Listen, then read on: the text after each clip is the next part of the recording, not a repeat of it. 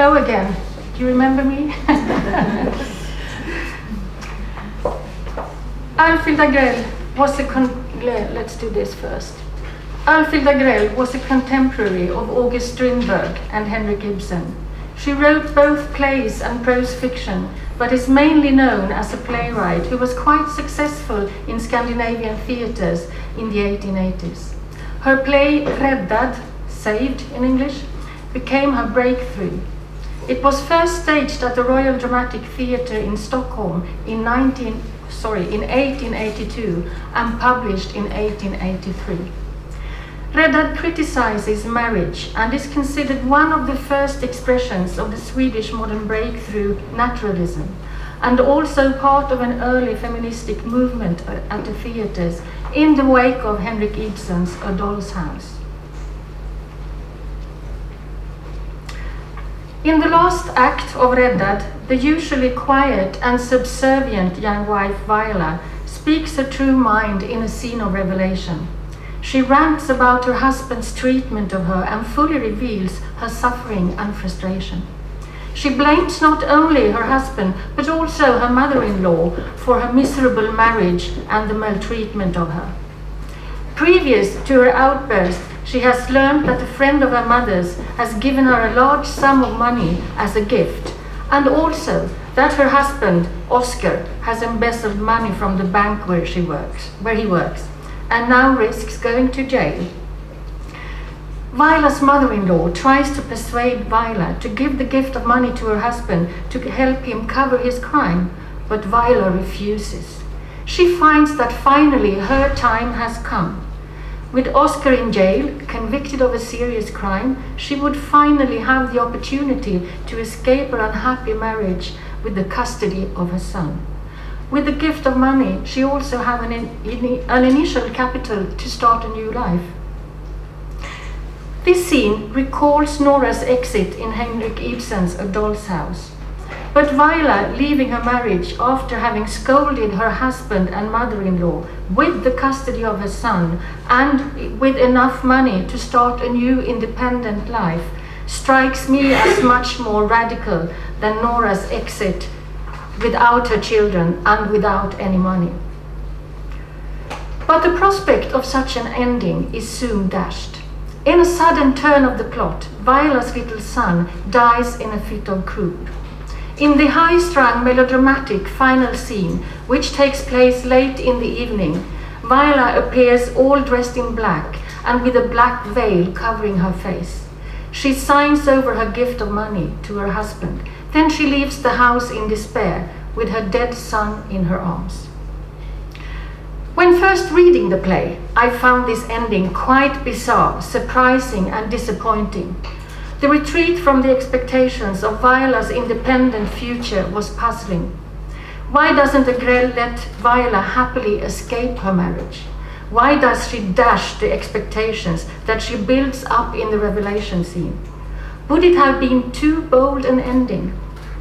The fate of Viola did not comply with what I had learned about Scandinavian modern breakthrough plays debating marriage, and definitely not with the play contributing to a first wave of feminism at the Swedish theatres. Breaches of expectations that promise success for the subordinated but rebellious protagonist recur in Alfhild Agrell's plays, and also in the plays by her contemporary female playwrights criticizing marriage. Their critique of marriage is equipped with an escape route their plays are cautious, and yet there is a strong urge to say it all, to reveal the truths about women's situations in marriage and in the family. I claim that the vacillation between self-censoring and exposure of intimacy shapes the rhetoric of the early naturalistic plays by Swedish female playwrights.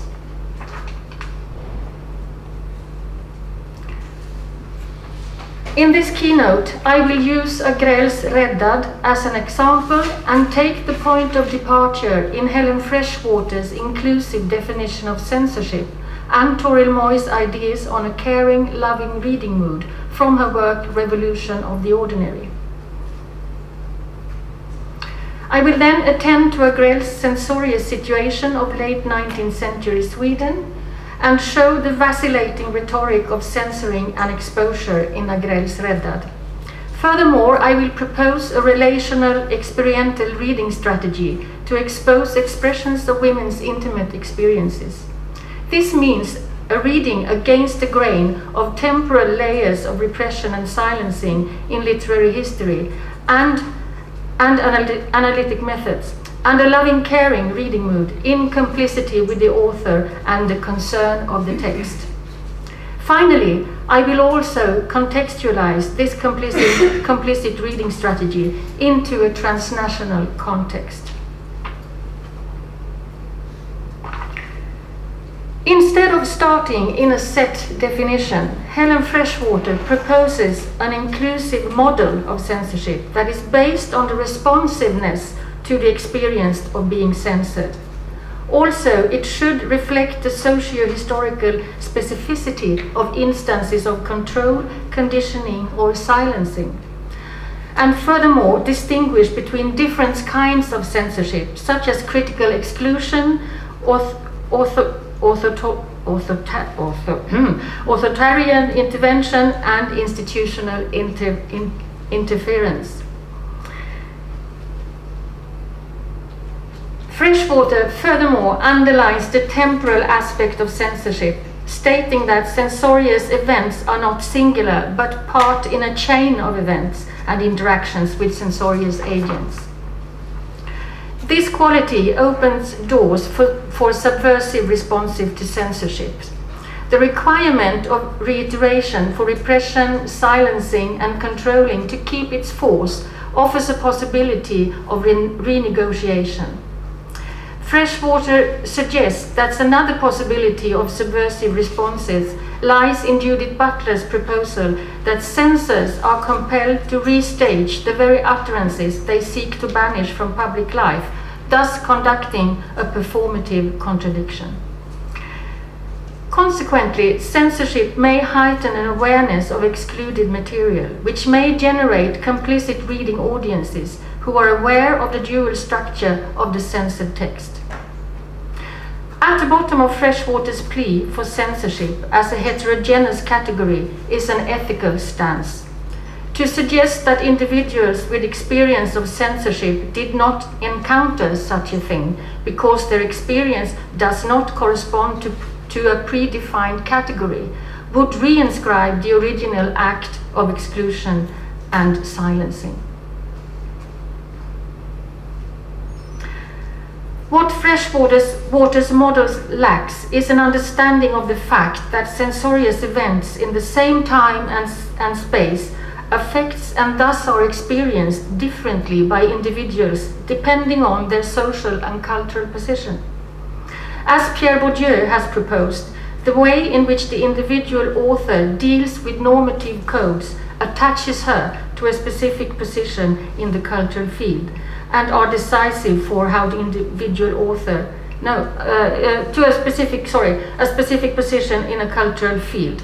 Turning Bourdieu's position around specific position in a cultural field are decisive for how the individual author can relate to external regulations.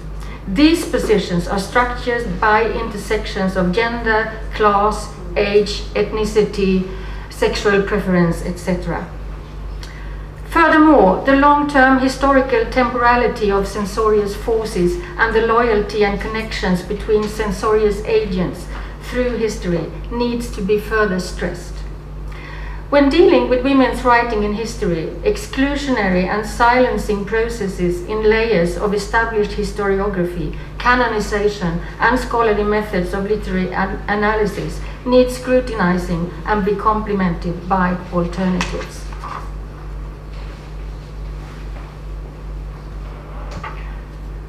Toril Moi criticizes the hegemonic position of the hermeneutics of suspicion as a dominating reading mode in the discipline of comparative literature.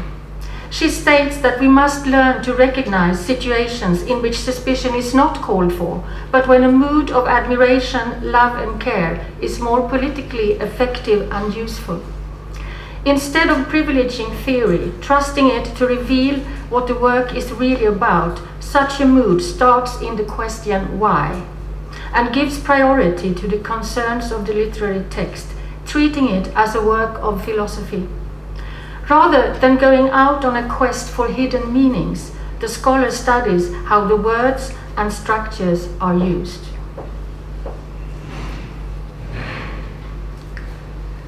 Adopting Freshwater's ethical position, I propose a reading strategy that is loyal with the experience of being repressed, muted, or in other ways censored, by being sensitive to the socio-historical situation of the author, making her experience or anticipation of being censored from a gendered position the nodal point around which the literary text is structured.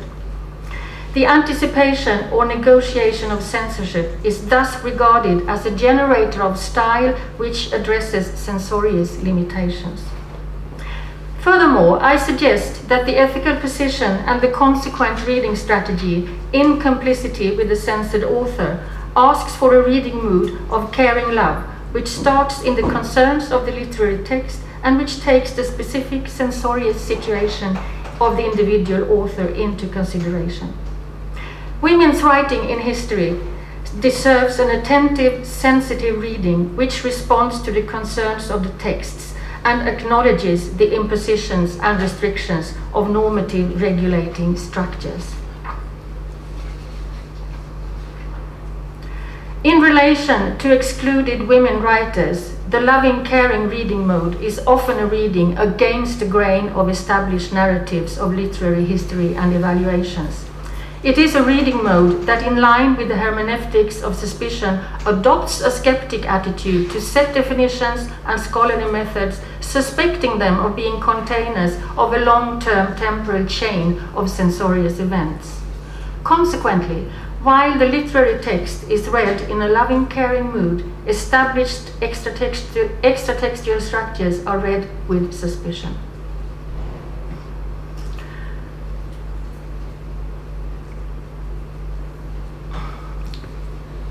The loving, caring reading strategy, which I adopt in reply to the concerns of Agrell's Räddad, starts in an empathic relational reading position.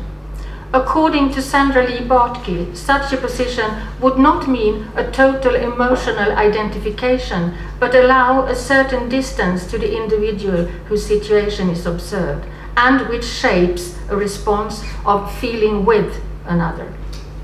Feeling with the protagonist of the play, I pay attention to the many descriptions of tactile sensations and also to melodramatic hyperbole, evoking the reader's memory of emotional and bodily experiences. Bronwyn Parry suggests that intensely intimate relations without personal encounters can be achieved through interaction with shared uh, with shared objects through the deep sentiments that these objects may embody or evoke. In accordance with Parry, I treat Agrell's Räddad as an interface, creating a deep feeling of solidarity and connectedness with the author and the 19th century women who her protagonist represents, comparable to friendship in which experiences are shared and acknowledged.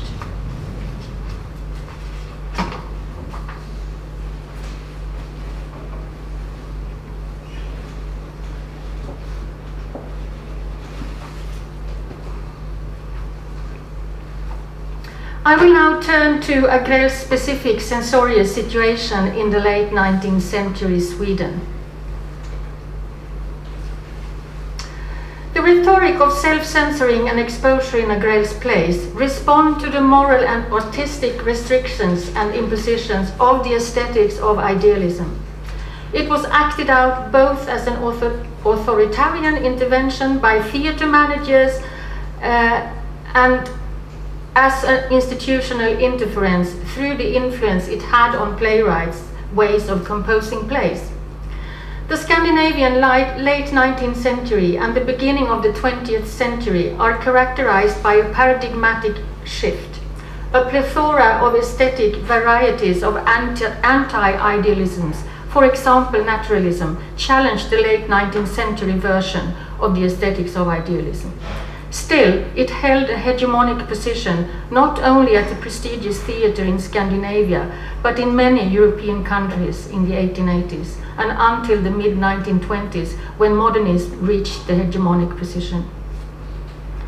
The moral backbone of the aesthetics of idealism was basically the exponents of conservative, patriarchal, bourgeois values.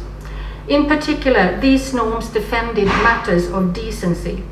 They were tied up to the artistic conventions which demanded didactic, uplifting qualities. Any playwright, male or female, was influenced by the aesthetics of idealism and more or less consciously related to it if they wanted their play staged at a prestigious theatre. The moral content, tightly connected to an ideal dramaturgy, was decisive in the censorious task of literateurs, literateurs and theatre managers when deciding what to stage and what not. In the 1880s, naturalism was regarded as a more or less direct representation of reality, with the capacity of exposing the naked, non mediated truth. Aided by naturalistic narratives, indecency threatened to cross the line between the intimate and the public spheres in both directions bringing sensitive information about men's sexual behavior into the family and exposing the secrets of family life in public. Performances and plays that criticized or clashed with the theatrical norms and conventions supporting decency, including the prevailing gender norms and ideology of family and marriage, provoked strong emotional reactions in both reviewers and ordinary theatre goers and readers. Banishment from the theatrical stages was the primary concern of failing the act of balancing on the edge of indecency, but also exclusion from bourgeois circles by social shaming. Naturalistic literature was, was thought capable of such a severe threat to society that it could have legal consequences. August Strindberg, for example, was prosecuted for blasphemy and risked being sentenced to jail for having questioned the Christian act of communion in one of his short stories. With her naturalistic plays, Agrell risked crossing, risked crossing borders bo both as a woman expressing ideas in public and as a dramatist exposing differences between the idealized image of marriage and its reality from women's points of view. As society, to a great extent, was structured by gender, the situation for men and women looked, for women authors looked different. It was more complicated and sensitive for a woman writer to appear in public than for a man. I claim that the uneven gender structure of the public space affected the author's dramaturgical and stylistic choices, and that these played an important part for censorial judgments of decency. Alfhild Agrell's contemporary female colleague Anne-Charlotte Leffler shows her awareness of this in a letter to a friend. She writes that she finds Henrik Ibsen's A Doll's House immensely interesting but strange, and that this and it by all means would have been rejected by the Royal Dramatic Theatre had she written it. In order to defy the audience's taste like that, your name must be Ibsen, and the last sentence was a direct quote, translated to English, of course. Leffler clearly experiences that the conditions for how to write a play is different for her than for her male elder colleague, and that she, as a woman, is acting from a more restricted position in the cultural field.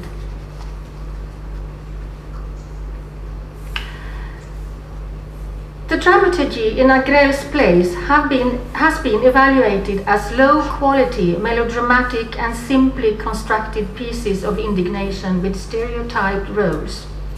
This, in turn, has been regarded as a result of an inability or insecurity in how to compose a play. My reading against the grain of established literary history reclaims pejorative judgments of melodramatic stereotyped roles and pieces of indignation, claiming firstly that these features do not indicate poor dramaturgical skills, but gendered responses to the institutional restrictions of the aesthetics of idealism. Secondly, by reading the play in an, uh, in an admiring, loving mood, to show how these features help building a dramaturgical construct in which female experiences of intimacy is communicated. Now I turn to the rhetoric of self-censoring and exposure in Räddad. In the heated revelation scene in the last act of Räddad, which I described in the introduction of my speech, an ambivalence towards Viola's behavior is created. This is done by the other characters' negative reactions. Even Viola's supportive and loyal friend, Uncle Milde, who has given her uh, the gift of money, is appalled at watching Viola scolding her husband and mother-in-law, and he condemns it. This enables an interpretation of Viola's merciless outburst as caused by meanness the marriage has suffocated, I quote, everything that was noble and good, end of quote, in Viola. Depicting Viola as mean and emotionally unstable, letting even the characters who are her friends take a stand against her, against her outspokenness, reduces the force of criticism in the fierce testimony of women's conditions in patriarchal marriage. The revelation scene can be perceived of as both a response to an institutional silencing in accordance with the aesthetics of idealism and as a subversive protest against it. It allows dual responses from the readers and the theatre goers. Either Viola's outburst is perceived of as delivered from a woman in her right mind, finally able to speak the truth, or from a woman which is mean and emotionally unstable and whose words should not be trusted. In a traditional use, according to the aesthetics of idealism, the revelation scene would end the play and give the representative of virtue her due reward. The villains should either be punished or converted to the right moral track again, resulting in a reconciliation of the family and confirm that complying with the conservative bourgeois moral values brings success and happiness. Viola has the qualities of the virtuous heroine. She is good-hearted, and right thinking, and also in a subordinated position, thus shaped for the audience to take sides with. But contrary to the heroines of ideal realism, she is punished by losing a son, while her merciless mother-in-law and irresponsible, heartless husband wins the battle when she signs over the money to Oscar. Viola can either be interpreted as fairly punished for her unwomanly behavior and uproar, but at the same time, the, the ambivalence shaped by the untraditional use of the revelation scene questions her punishment. This is underlined by her husband's Oscar regretfulness and Viola's friend's worries about her when she finally leaves the house. Furthermore, it is significant that the angry Viola does not come from an intact, respectable bourgeois family. She has married into such a family. The violation of sanctioned feminine behavior in Räddad is acted out by a daughter of a man who ruined his family and left his wife to bring up Viola on her own outside the bounds of the city. This background helps creating the dramaturgical position of the good-hearted but socially subordinated melodramatic heroine in dire straits, which an audience is meant to sympathize with. But Viola's behavior can also be explained by her being the daughter of an immoral man, which subdues the criticism of the play and adds to the judgment of Viola's behavior as indecent. The dramaturgy of ideal realism is negotiated in a way that offers the possibility of interpreting the play in accordance with the conservative, patriarchal, and bourgeois moral norms of the time Simultaneously, it reveals thoughts and feelings that cross the restrictions of the aesthetics of idealism, and consequently patriarchal norms of subservient femininity. Thus, it has the potential to please the conservative spectator and yet uh, address a complicit audience which can perceive the subversiveness of the play. By using established dramaturgical figures in an unconventional way, Agrell is able, in a sophisticated way, to communicate her critique of patriarchal bourgeois marriage and represent the experience of emotional deprivation without explicitly opposing the restrictions of the aesthetics of idealism. Now, let's move to the loving, caring reading mood of Agrell's play, which means that I choose to read the play subversively to the aesthetics of idealism to expose the banished themes of, of intimacy. As I have mentioned, uh, Agrell's play have been accused of having stereotyped roles, which has given them the pejorative label, label pieces of indignation. In my reading of Räddad in complicity with Agrell's censorious situation, I considered these the features causing this label to what I perceive as, of as the main concern of the text, namely to represent female experience of being deprived of intimacy in marriage. I look upon the creation of Viola as the good-hearted heroine in dire straits and her stereotyped antagonists as instrument for focusing the female protagonist, which is a dramaturgical condition for representing emotional experiences. In the first act of Räddad, we are introduced to Viola and her situation. She is quiet and seems troubled. Dressed in black, she sits close to the fireplace, staring into the fire, lost in thoughts. When her husband Oscar enters, he recalls Viola's behavior at the beginning of their marriage. When he came home early in the mornings after nights out with his friends, she used to sit at the window waiting for him, all red with crying and shivering with cold. She neither waits for him nor cries anymore, and Oscar thinks that, I quote, marriage has had a reposeful effect on Viola. End of quote. His comment ironically exposes Viola's silence and thoughtfulness and hints that something is wrong. Later in the first and second scene of the first act, Viola's lack of power and imprisonment in the marriage becomes obvious. Viola's task is to run the household, but she has to adjust to her mother-in-law's advice and the maids neglect her orders. Her husband forgets about her birthday, and on top of this, she finds a picture of another woman which has slipped out of Oscar's pocket. Hyperbole, typical of melodrama, is used to depict Viola's situation, make it, making its precarity transparently clear, deepening our sympathies for the writer's kind-hearted protagonist. In combination with the stereotyped husband without any redeeming qualities, it invites the reader to adopt a solidary position close to Viola and to look at her husband and the whole situation from her perspective.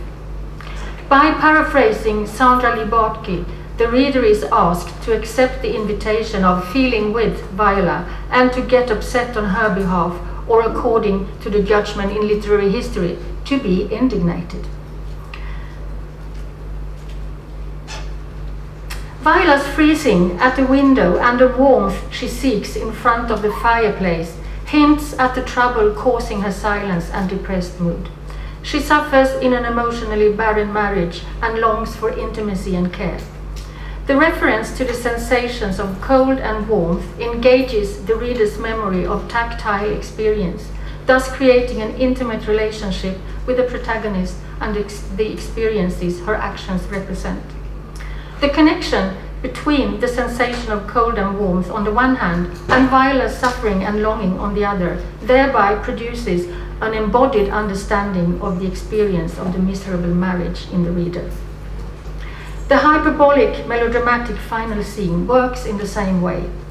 Viola wears her black dress and a black veil, holding white flowers in her hand and carrying the dead son in her arms wrapped in a black shawl. Viola says she will leave to go to her mother's grave. She cries out in anguish and laughs hysterically. In accordance with Peter Brooks, melodramatic exaggeration points beyond the literal meaning.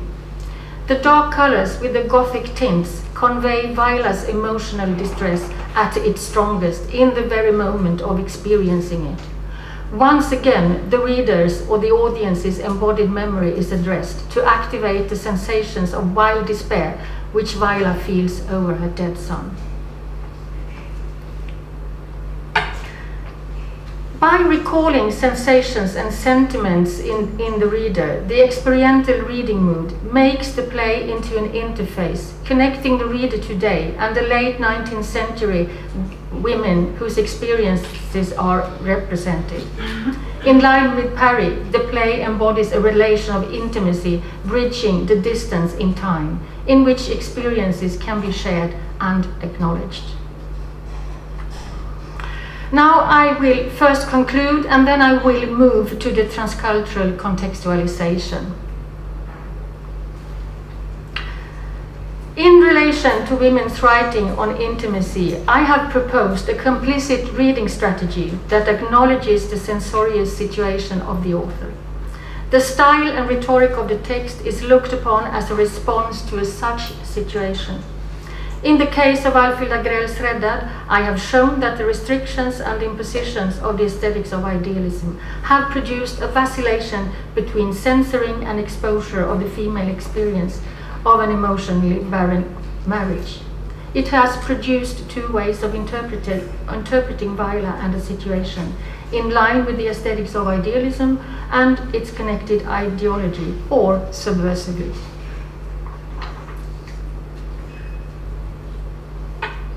I have furthermore suggested a reading strategy of women's writing in complicity with the author by exposing banished themes. This requires a skeptical attitude towards established scholarly literary methods, set definitions, historiographical narratives and evaluations, suspecting them of being links in a chain of censorious events. In contrast, the complicit reading strategy of the literary text is one in loving and is one in a loving and caring mood. This means privileging the concerns of the censored text over set definitions and historiographical narratives and over theories, and study how words and structures are used in relation to this concern and the censorious situation of production. In Alfhild Agrell's Räddad, this means an experiential relational reading mood as a reply to the concerns of the text. Melodramatic structures and stereotype roles are related to the exposure of the deprivation of intimacy in an emotionally barren marriage. The stereotype roles help constructing a dramaturgical position from which the emotional experience can be represented, inviting the reader to feel with the protagonist. Melodramatic hyperbole and references to sensations are perceived of as activators of the reader's tactile memory creating an embodied, embodied understanding of the text. In this experiential reading mood, the play works as an interface, bridging the distance in time between the modern reader and the 19th century women whose experiences are represented. Margaret McFadden, oh sorry, I've spelled her name wrong, I see here. It should be without the H in Margaret. Margaret McFadden identifies avenues or domains of international woman-to-woman connectedness in the 19th century. She links them to the rise of the new commu communication systems. She includes traveling, bonds between women working in reform movements and in secular and religious utopian community movements. Networks of support, affiliation, and common purposes linking political revolutionaries, refugees, and expatriates together and the rise of celebrity cults, which called into existence virtual communities. McFadden anchors the international community of women writers with shared commitments in the author's in the author's life, they're being able to travel, they taking part in political uh, societies and so on. Although some women writers did travel or lived in exile, a lot of women writers did not, not have the opportunity to meet over national borders due to legal, economic, social, national and cultural reasons.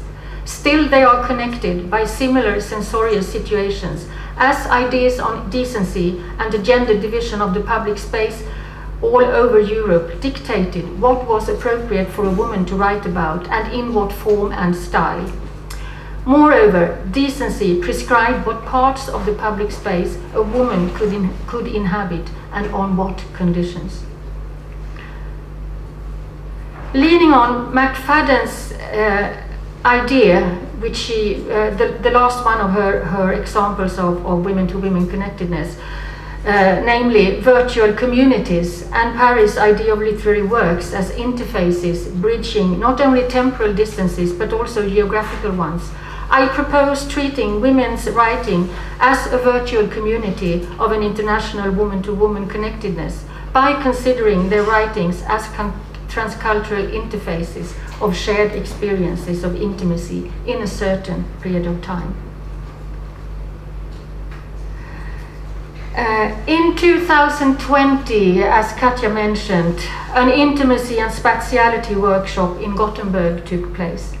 The anthology Women Writing Intimate Spaces, which right now is in press, is the result of the workshop. It shows such a virtual international woman to woman connectedness. It spans women's writing of intimacy from northern, south, and central European cultural fringes and minor language areas and reveal close affinities in the author's exposures of intimacy. There are similarities in the ways they treat intimacy in connection to the dichotomies of public and private, the home and outside, the countryside and the city, the national and the cosmopolitan.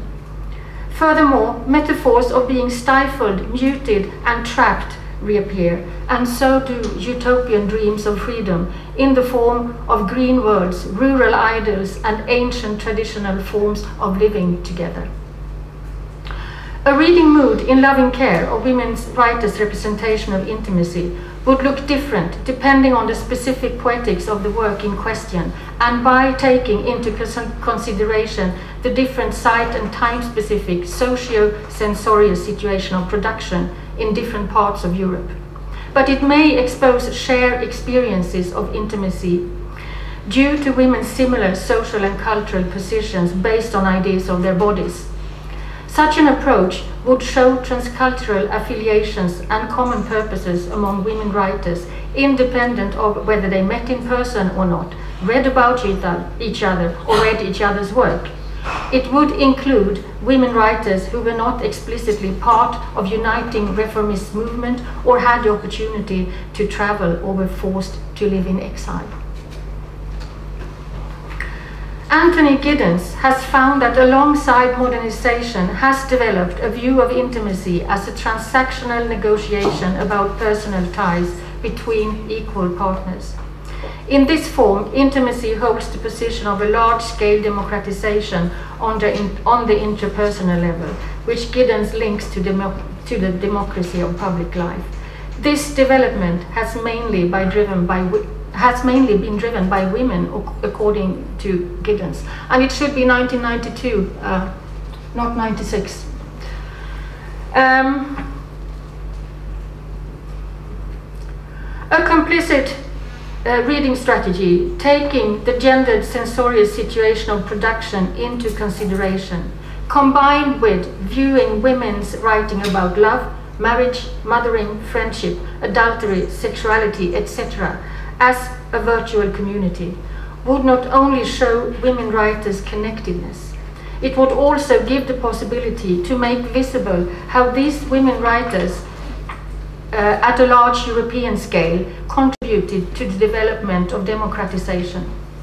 Whether they explicitly were part of political movements or not, their literature have had the potential to influence readers' feelings and thinking of intimacy and slowly change discourses of intimacy. Such an approach would go beyond a traditional view of women's movement or as organized political work and manifestation peaking at certain periods of time it would show women's contribution to the democratization of Europe and thereby to modernity as a long-term movement over centuries across nations and cultural areas.